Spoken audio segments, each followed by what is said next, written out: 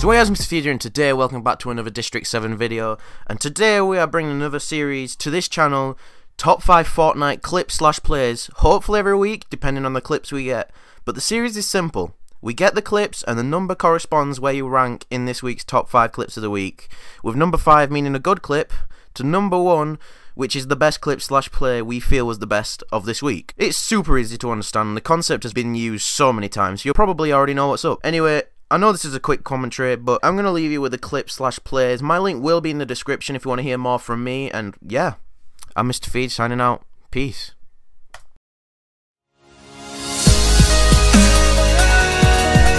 Come on.